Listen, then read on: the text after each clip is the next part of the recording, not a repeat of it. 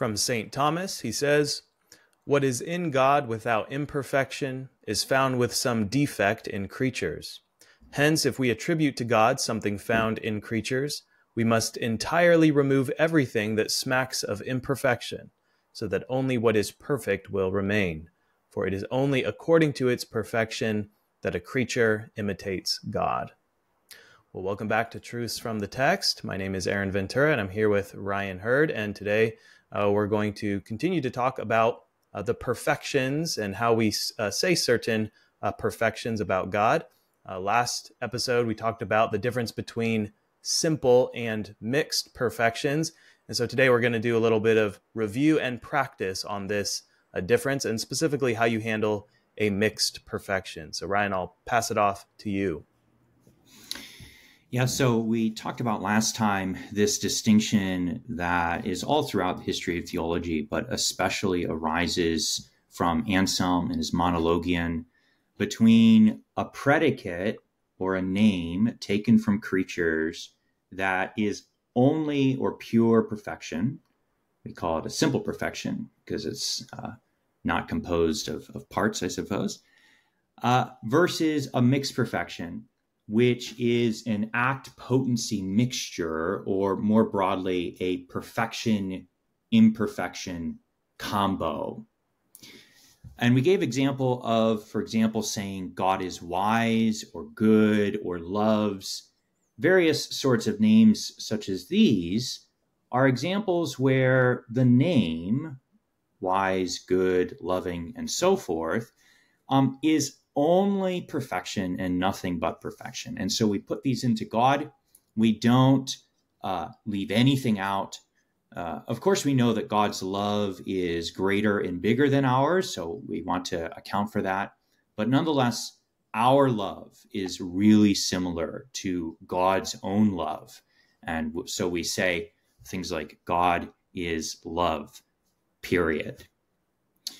Whereas there's other names, and this is honestly a more frequent situation that we face in theology where when we look at what this creaturely reality is, it's not pure perfection. It's not pure actuality. It has some element of imperfection. And for that reason, we have a fundamental principle, like part of the operating system of the theological mind, where we remove the element of imperfection and we retain the element of perfection.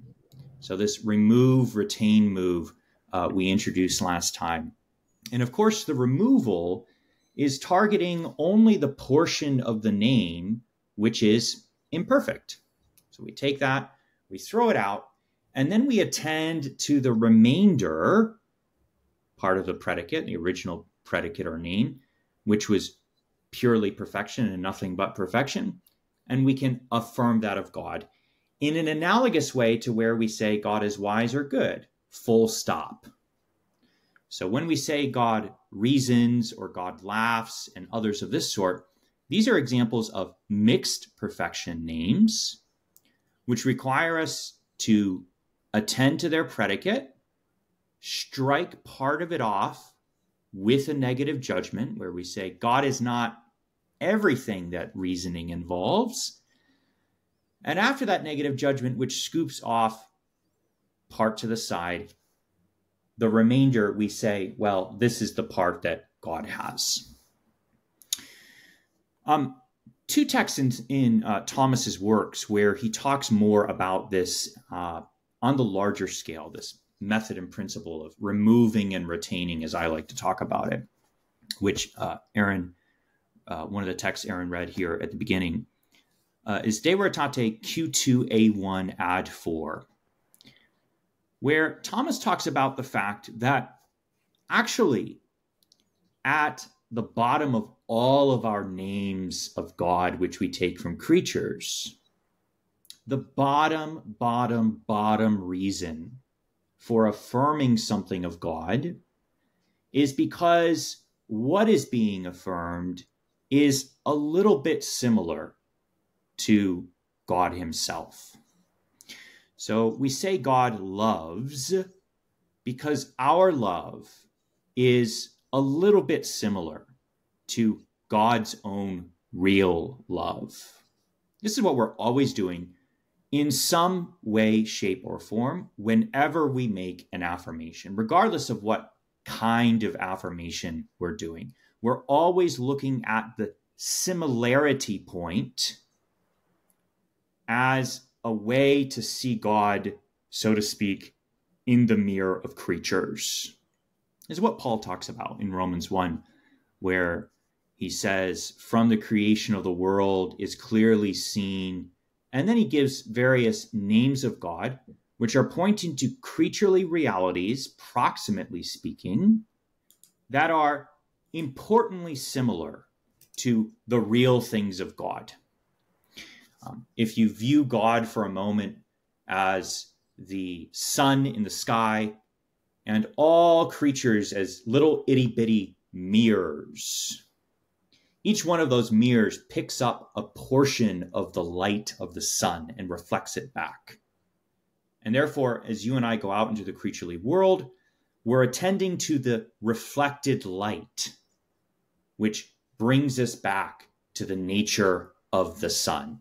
This is what we're doing in theology whenever we're making affirmative judgments of God.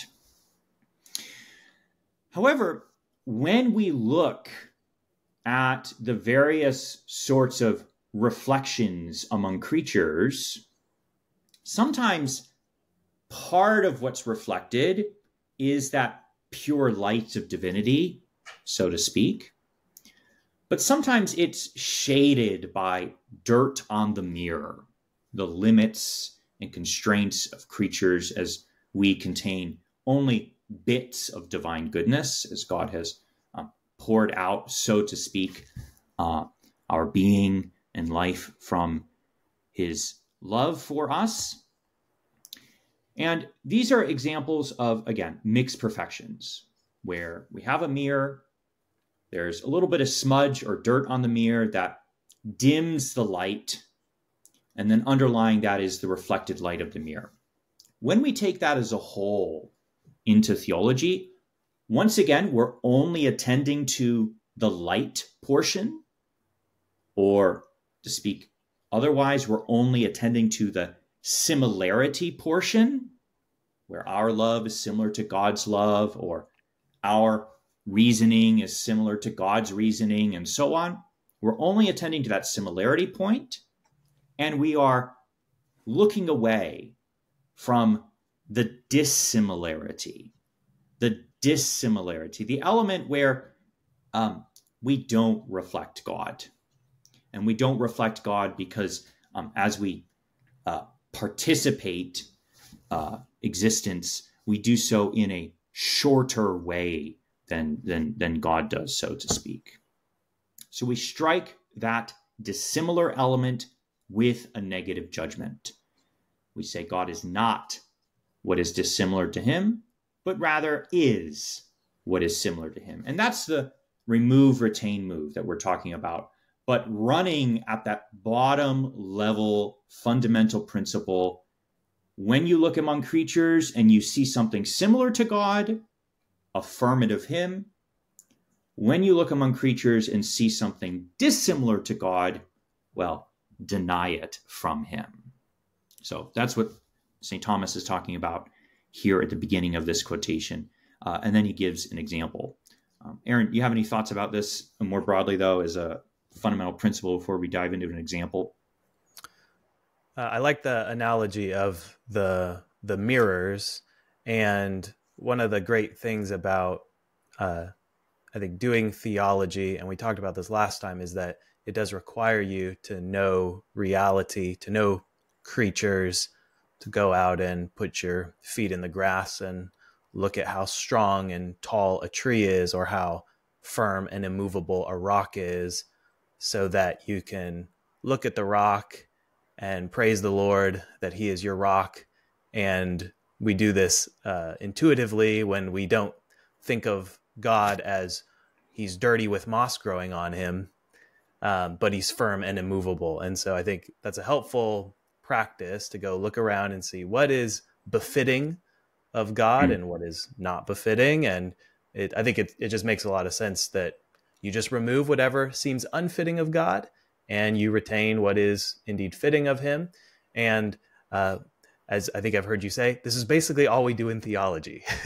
uh, this is the um, there's a lot more technicality, but it's it, a lot of the technicality as we'll, as we'll uh, illustrate now when we talk about God reasons is figuring out okay what is reasoning or what is knowledge, and that's usually the hard work of theology is just identifying your predicate, getting the content in your mind of what laughing is. What is the uh, you know when he who sits in the heavens laughs?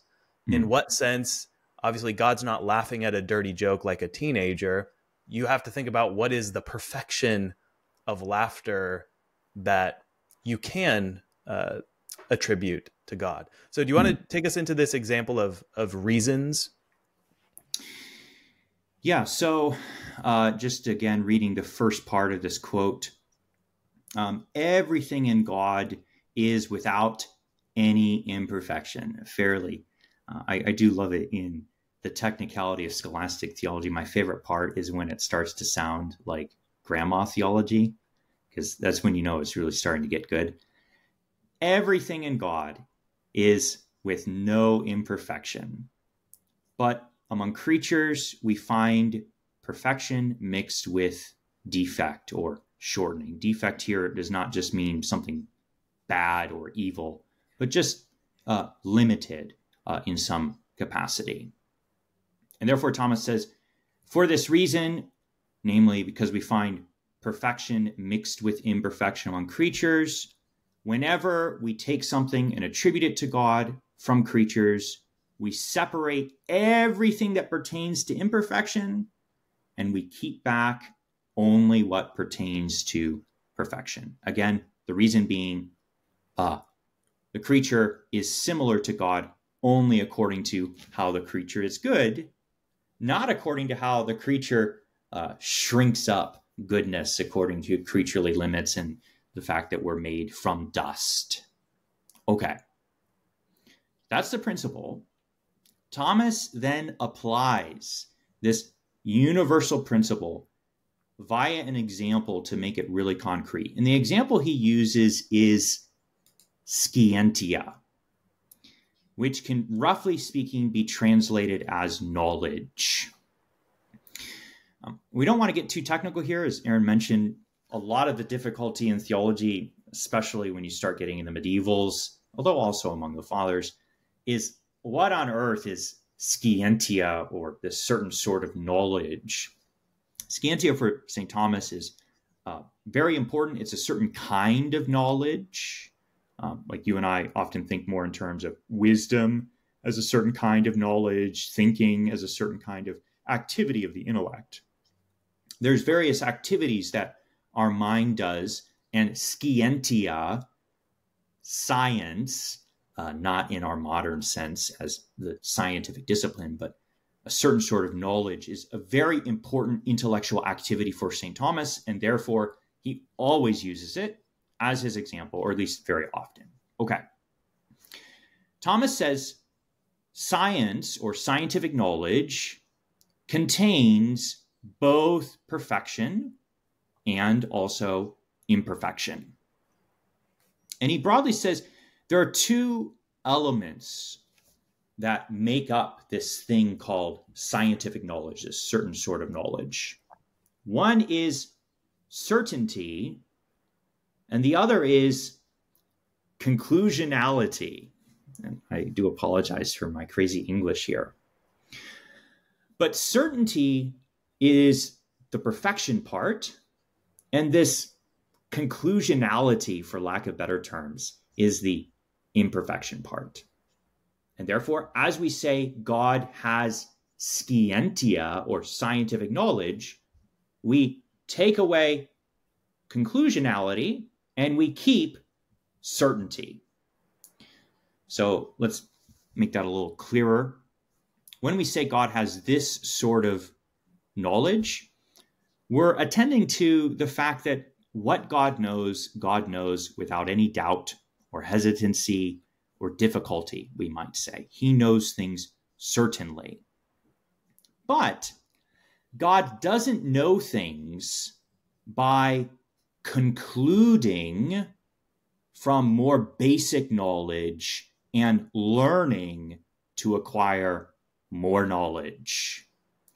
That's roughly speaking what Thomas means here by conclusionality, where we grow, us creatures grow from more fundamental knowledge or more fundamental principles or more fundamental premises.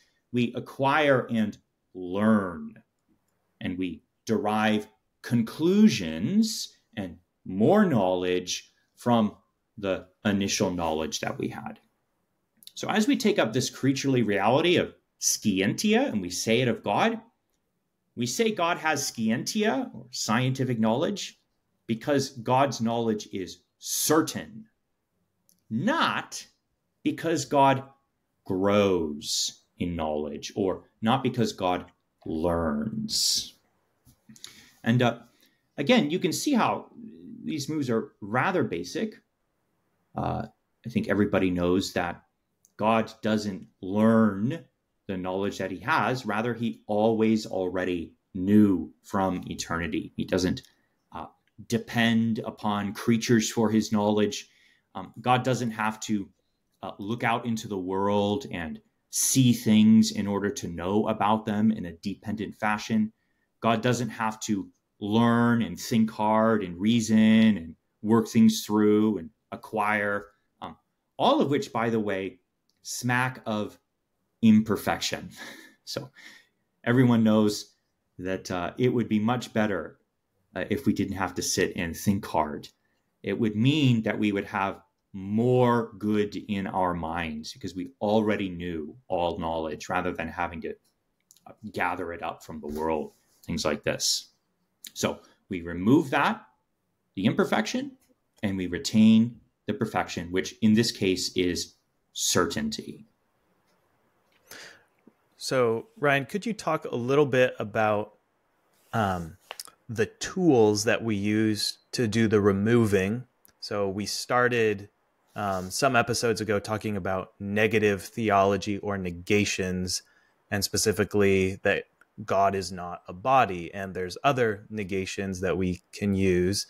And the way that I like to think about mixed perfections is you find the creaturely thing, so in this case, scientific knowledge, and then I go into my handy uh, negative theology toolkit and I, th- I think about okay what is the aspect of imperfection in scientific knowledge well it's the the coming from ignorance unto knowing mm-hmm.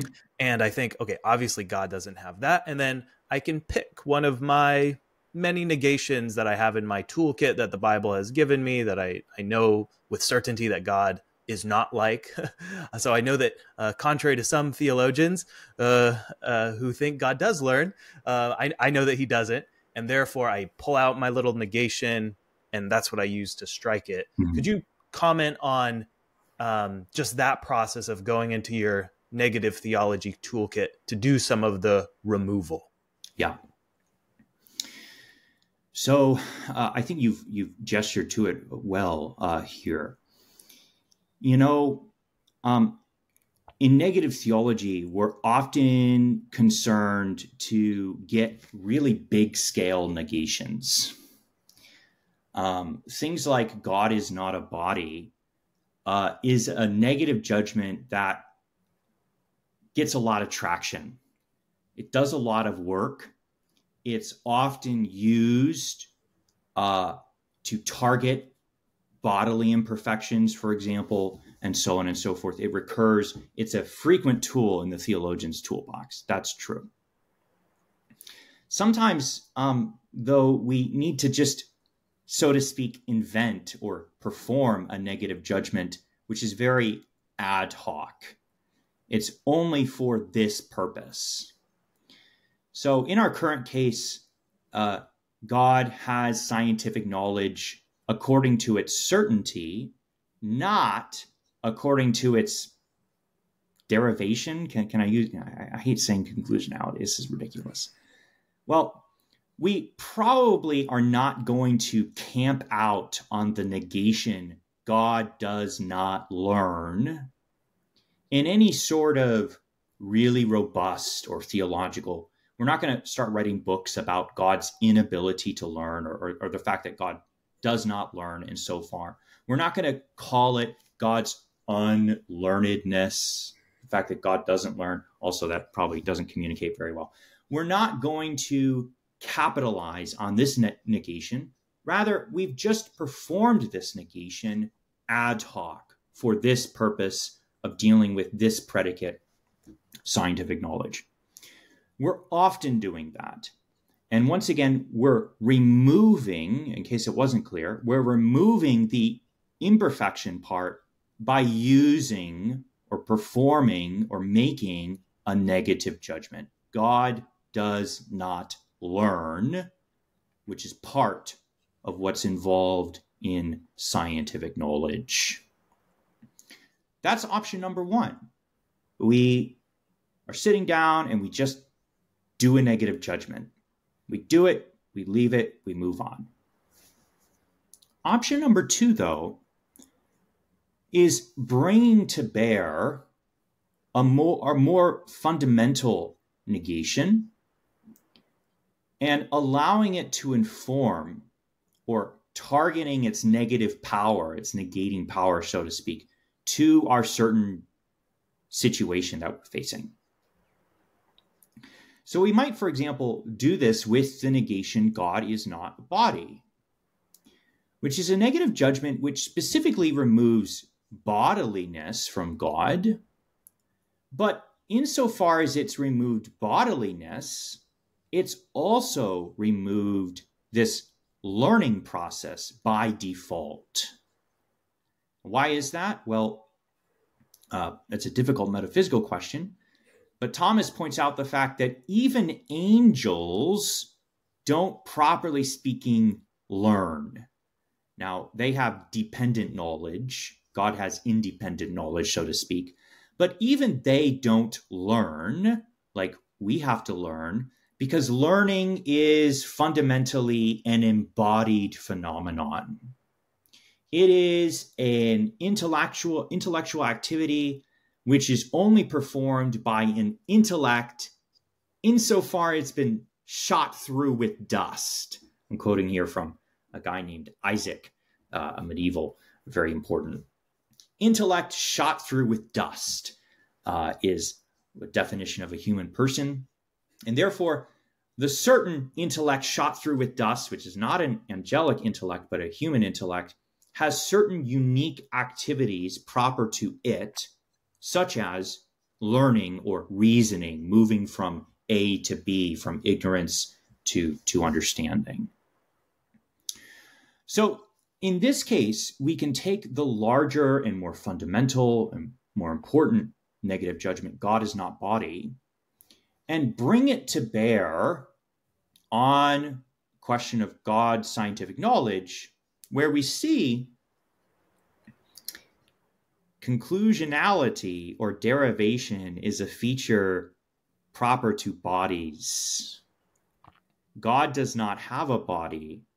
Therefore, God, although he has scientific knowledge according to certainty, doesn't have this bit which accrues by virtue of having a body, namely the derivedness of his knowledge. Um, so, we're, we're, we're doing often either one of those uh, uh, sorts of moves, either the ad hoc negative method or the pick your tool out of your negative theology toolbox method. And by the way, that latter method, where we take, for example, God is not body and we bring it to bear, is what we're very frequently doing when we are reading Holy Scripture.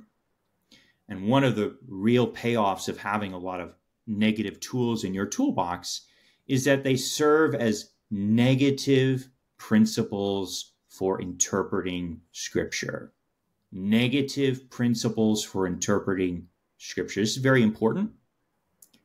They don't tell you what the text means, they give you wrong answers only. So again, if we go back to our more basic thing, when we read the text, God has a hand, I whip out my negative tool, God is not a body, and it adverts me to the fact of a wrong answer only, namely, God has a hand does not mean God has a hand. It hasn't told me what it does mean. It's given me the wrong answer only. In a similar way, if I were to read in text of scripture, God has scientific knowledge. Um, Thomas is reading scripture in the Vulgate version in Latin. And so there are a few texts. Oh, the depths of the wisdom and the scientia of God is how Thomas reads Paul's uh, famous thing, the text in uh, Romans. I forget the exact reference. Okay, here scripture is making you say God has science, God has scientific knowledge. He allows these negative judgments to be negative principles of interpreting, giving you wrong answers only. We still have to do the hard work of interpreting the text, but at least we've uh, guarded ourselves from screwing it up too badly. Hmm. There's there's two texts. Uh, hopefully, this does not muddy the waters, but um, there's a lot of prophetic visions where a prophet will see um, things that don't have bodies, like angels. Um, and I think of Ezekiel, how even the Hebrew, e- even the text itself is straining when it's going multiple layers of I saw the likeness of a likeness uh, that was the form kind of like a man. Yeah. and uh, I, I, one of my favorite ones is there's that meme out there about um, what an, you know seeing an angel or you look like an angel, and then it's this um, terrifying being with wings and like eyes all around oh, it. Yeah. yeah. and I actually really like this because uh, you it, it, just shows you your limits of a of bodily knowing that mm-hmm. you can't even know an angel. We're not even talking about God. You can't even know an angel without God accommodating to you mm-hmm. some bodily metaphor. So you think, how many eyes do a, does a human being have? Two eyes. And then God says, let me show you what angelic knowledge, or at least the cherubim, are mm-hmm. like, or the wheels of my chariot, mm-hmm. eyes everywhere. Mm-hmm. And I think that's actually exactly how I would try to explain to my three year old son. Mm. Well, you know how you have two eyes and can't see behind you mm. or above you? Well, the Spirit of God has eyes all around. Mm-hmm. so I, I've got the little negation in my head. Obviously, God, not even angels have bodies, but yeah. he's got eyes everywhere. Yeah, he can um, see all things. Yeah. I exactly. mean, we, we do this also with our children when we say, uh, mom has eyes in the back of her head. Uh, yeah. I, I just firmly remember as a child, how does mom know that? Well, her knowing powers were greater than mine. And so, what would she say? Well, I have eyes in the back of my head. Similar capacity. The addition of eyes means God ha- God has eyes everywhere. Yeah, he knows all things exactly. Yeah. Uh, in uh, in Genesis 22, there uh, you can tell me if this is gonna lead us too far astray, but um, so when God has Abraham uh, go sacrifice his son, but then he he doesn't, and he stops his hand, and then he says, um, "Now I know that mm. you fear God." Mm. Um, this I think this is one example where you know at least what it can't mean. Mm-hmm. And even though the text on just the surface of the letters is, it sounds like God learned something about Abraham. Mm. And then, as most of the commentators take it, well, this is the sense of God's actually making Abraham to know mm. what is in his heart. Mm. And it's spoken metaphorically. Mm. And you have similar moves happening in Mark 13. So, for those of you who know we're preaching through Mark 13 right now, it's going to say, not even the angels in heaven or the Son of Man knows the day of his own return. Hmm. You could take, so we know what it can't mean because Jesus knows everything as God. And then it leaves you with basically two options. Either he doesn't know according to his humanness, his human nature, and that's mm-hmm. how a mm-hmm. lot of people go. Or you could also take it in the sense of Genesis 22 that the Son of Man is not causing you disciples to know, mm. and it's spoken of in this different sense. So I like this principle of I know what it can't mean, I know what mm-hmm. my options are not, I've removed those, and then I know here's my handful of other potential options, and then I got to do more work to kind of pick and choose yeah. which is the most most likely. Any comments yeah. or thoughts on on those texts? No, I think I think that's great. Uh, I have nothing to add. Yeah. Okay. Um, so I don't know if Thomas has a text on this, but I'm I am interested in the mixed perfection of laughter. Uh, mm. Do you want to give any gestures towards that, or do you know any places where he handles that mixed perfection? You know, he handles it a, a number of places. I I don't know them off the top of my head. One of the reasons is not answering your question. This is I'm, I'm not not able to at the moment. But uh, one of the reasons why uh, Thomas uses reasons, laughs, and others of this sort. This is how he speaks. Um, as his examples, is because these are what philosophically are unique to only one thing in the entire universe a human person. So, when we hear a hyena produce the sound that sounds a lot like man's laughter, we often call it laughter, but it's not actually laughter because although it mimics the sound, it has not grasped something funny. And part of what it is to laugh is knowing with your mind something funny.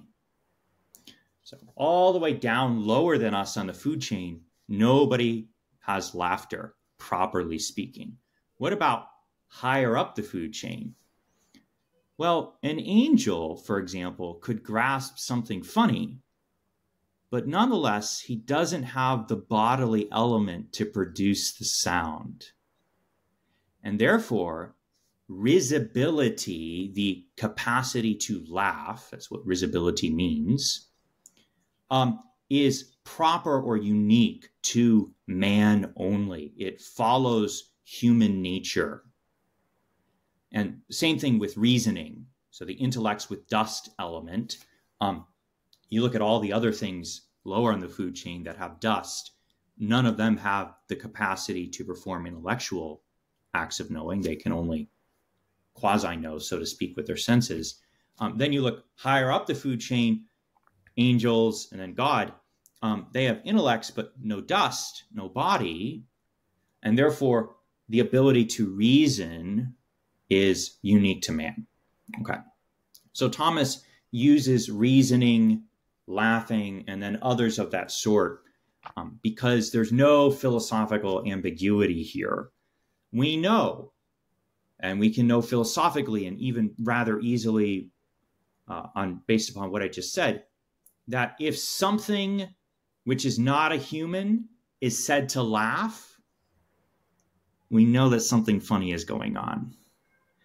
Um, perhaps it's imitating the sound of human laughter, like a hyena, and this is why it's true that a hyena laughs. Not that he actually has laughter, we would say, but because it's akin to laughter according to the sound. Yeah. And then there's various other usages. So how would we say God laughs? Well, an initial shot would be, positively speaking, God laughs insofar as he does something similar to a man who has laughter. Um, often, a man who has laughter, for example, when it says, um, you know, God uh, was a Psalm two. I'm, I'm uh, yeah, he who sits in the heavens, Heaven, laughs, heavens laughs. Thank holds you. Holds his foes in derision. Yep. Exactly. He holds his foes in the derision. So, what is this saying of God? Well, a man who laughs is somebody who has recognized his opponent doesn't have squat. Can I tell a little story? My dad is a shockingly strong arm wrestler. All my life, I've tried to arm wrestle my dad. I'm going to count it one day, one of my great accomplishments, if I can beat my dad. But my dad is so strong that every single time I arm wrestle him, he just genuinely, no joke, he just laughs and pump. All, I'm all the way down on the floor, uh, on, on, on the table every time. And let me tell you, like it was very annoying for most of my life. Now, now I also laugh because it's just, it's just hilarious. I've got nothing on him. Similarly, in the case of God, Psalm 2, God is said to laugh because when it comes to the great arm wrestling match of God and all the foes of the believer, it's just not even a competition. It's over before it starts. And therefore, he is said to laugh. That maybe is a shot, uh, the initial direction that we might want to, to go. I think that's that's a pretty good shot. Um, I'll I'll close this off by just reminding us of these different categories of uh, positive names. So at the top with simple perfections, I think you said Thomas's is stock are good, wise, and others similar. So those yep. are your simple perfections. You can just kind of say them full stop. And then mixed perfections, which is what we've been talking about here, reasons, laughs. And I never noticed until you just pointed it out that those are two things that are uh, uh, properties uniquely of human beings. Mm-hmm. Okay, I can now I can see more why he uses uses those, and then the bottom or the purely symbolic names mm-hmm. where we remove everything, and then we just have this this metaphorical name. He uses rock, lion, and and then I like to remind myself the passions, mm-hmm. um, wrath, uh, others of those. Um, any comments on those three kinds of names or those stock examples for folks? No, I, I think it's uh, you know just a manner of learning how to say those stock things really well, really clearly, spotting the patterns. So patterns are really important, and then as we go about the world, even when you don't know exactly what a certain predicate is, you can often get by because it's kind of sort of like something you know really, really well. That's kind of the design of Thomas's system. So Thomas knows that uh, saying God laughs, God reasons, and so on, not super frequent, not super helpful, but he does it so that in all the many actual situations when maybe we're not exact in our philosophical knowledge, very frequent Holy Scripture, we at least have something to go on. So spotting the patterns and learning the patterns uh, is really the goal here. Hmm. Great. All right. Well, uh, we'll continue on. And uh, I said uh, to the church, hey, by the time we get to episode 10, if you feel like things are way over your head, just just trust this, trust the process. When you get mm-hmm. to episode 10, go back to episode one and you'll be like, "Hey, I I know what Ryan is talking about. Uh, I know what Aaron is talking about." So we've got one more episode uh, to go until we get to that uh, that episode ten, and then you guys can go back. Please do reach out with any questions or things that you continue to find difficult. Uh, and you know, if you want to go study angelic knowledge, there's few people better to study from than Thomas. Uh, hmm. So yeah, go go to his uh, his Summa and uh, read read all about how angels how angels laugh. What is the sound of an angel laughing? Hmm. Um, you, you, can uh, uh, do some fun metaphysics there. All right, well we'll uh, we'll finish up there. Until next time, keep on reading.